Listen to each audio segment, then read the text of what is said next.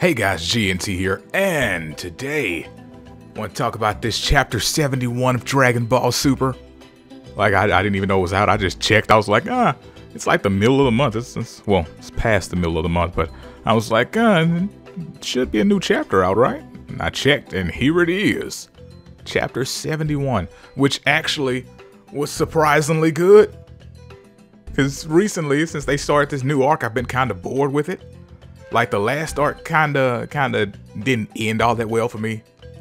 But um with the whole Moro thing, but with this arc, it's just it had such a slow start, and I guess because they were trying to build up these other characters that are going to be important to your um your arc, right? Like uh with this chapter was mostly well, actually I was going to say it was mostly like uh based around the character Maki, Maki, I don't know how you say that name. I'm assuming it's Maki. But that chick, which, uh, fun thing here, uh, she's the first chick in Dragon Ball I've actually liked, you know? Cause I don't, I don't, I'm not very fond of the females in Dragon Ball. They, they kinda, you know, outside of like Bulma. But that's cause Bulma basically started this whole adventure. So she's been there from the start. But for the most part, the, the females in Dragon Ball just are not all that interesting. But uh, this Maki chick, she seems to be um, for for lack of better terms, a complete cunt, and I like it. Oh goodness, I love it. Uh, she just she has this horrible attitude, and like their whole family, they they they look like uh, they look like the black version of Namekians. Like clearly they can't be actually black because in the um in the manga, their their skin is, is white, so I'm assuming they're some uh, very light color. But they have dreads, and they look like Namekians. So I'm saying they're, they're clearly the evolution of the Namekian. When you go far enough, you become a, a black guy. You get dreads. That's what these guys are, clearly. But yeah, cool characters though. Or at least they, they seem that way so far, with Maki being the standout character, which is it's just odd. Cause in a lot of these um shonen style manga, the females just kinda suck. It is what it is. And I'm not saying that that's because, you know, that's the natural order of things, but that's how most of these manga are. So, so far, she's actually very interesting. And I'm really excited to see more. Oh, goodness. I mean, she she shows up and she basically tricks the the simple-minded people. Well, technically, I don't know if you even call them simple-minded because I mean, Bulma's a genius, so I don't I don't know, just gullible. There we go, gullible. Tricks the gullible people into believing some junk. I mean, with how many aliens they've had to deal with by now you would think they'd be like, eh, I don't know if we should just listen to you saying that somebody's a bad guy. But it's whatever, you know. If it was just Goku, like if they went straight to Goku and said, there's a bad guy we need you to beat, and he was like, okay, I'd believe it. But everybody else going along with it, I guess that's why they didn't show Piccolo and, and Gohan. Like, they would have questioned it. What do you mean? How do we know that that's the bad guy and you're not? You're like, nah, let's let's cut the, the smart characters out of this. Anybody with a brain, we're not gonna put in this chapter. Screw that. It's like all the guys that would question this. Sorry, had to had to, to breathe for a second there. It's like all the guys that would question this decision. Let's uh let's not put them here. They they need to be absent from this arc. Those guys have brains. But, you know, Chi-Chi and Bulma just were like, oh, okay. Called up Goku and Vegeta, and Goku and Vegeta were like, oh, okay.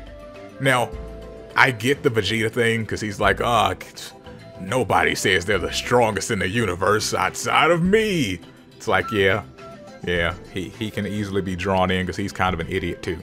So, I would get them going straight to Goku and Vegeta. But going through other people and them being this dumb too, it's crazy. And then the whole um uh what's what's what's old dude's name with um the the eye patch thing? Uh Granolah, I think his name is. That cat he seems like he's stupid too. Like I, I, I took him for a smarter guy than what he is. They just told him some junk and he went with it. It's crazy. But yeah, as, as, as far as the new characters go though, that, that, that Maki chick is the only one that's interesting. And like she is just, oh, she needs to stick around. You know how sometimes we have villains that just disappear after stuff? She needs to stick around. We, we need her. She's refreshing. Like she's she's not some some super amazingly overpowered character that they're just throwing in. You know? I don't know, like um uh Kefla. I'm just gonna say Kefla because I don't remember their names separately. I only remember Kefla because she's in Fighters. I don't remember the other two's names, but they sucked. Like it was, it was dumb. This chick, she is very entertaining. Like she, she carried this whole chapter, just her alone. It was, it was great. But yeah, um, one other thing that was good in this chapter is that they're finally, you know, uh, talking about the whole Ultra Instinct thing. Cause the first thing I said when they did Ultra Instinct in um in the dang anime, I was like, this was supposed to be like a, a state of being, not a transformation. And then it just turned into another transformation. And they're finally addressing that. He's like, oh, Goku, uh, this this Ultra Instinct thing isn't supposed to be a transformation. I was like, oh, oh, he said it.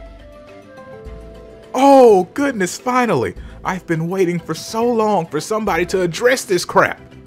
Because I was like, Ultra Instinct is supposed to just be a thing that you do.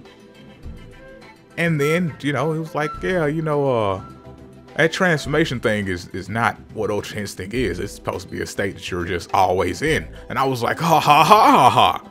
Ha ha ha. Ha ha ha. And that that that that really that really did it for me. It made me feel good. I was I was put into a good mood after hearing that.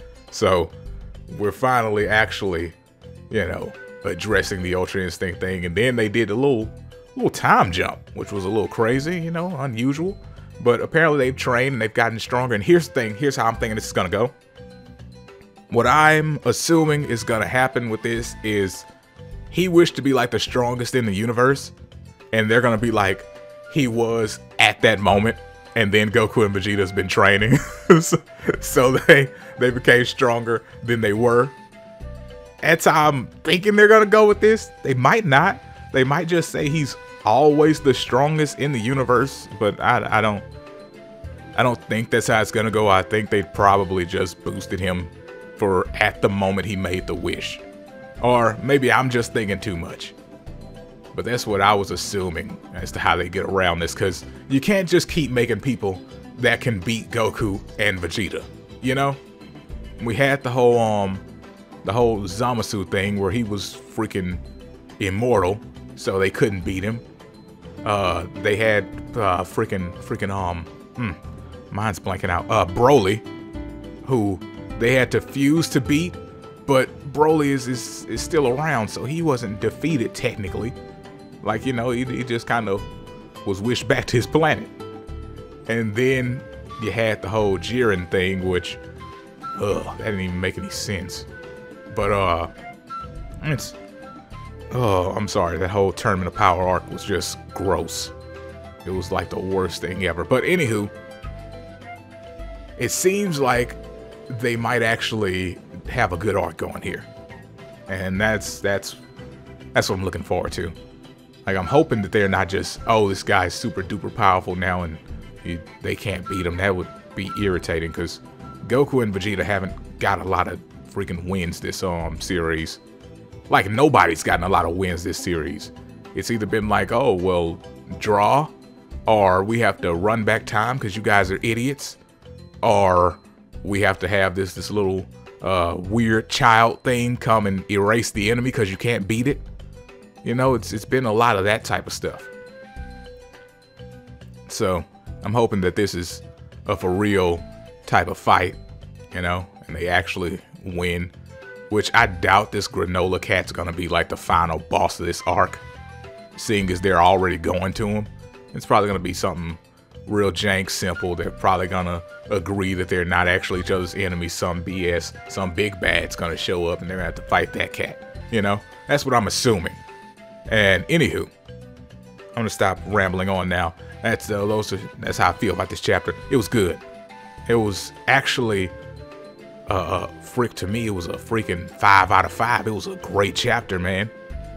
Usually, I'm left uh, feeling a little empty after each chapter of this series. Because usually they just don't give me what I desire. But this one, it's real good. It's real good. Anywho, I hope you guys enjoyed this video. And let me know what you thought about the chapter in the comments below. And I'll see you next time. Peace out and have a great day.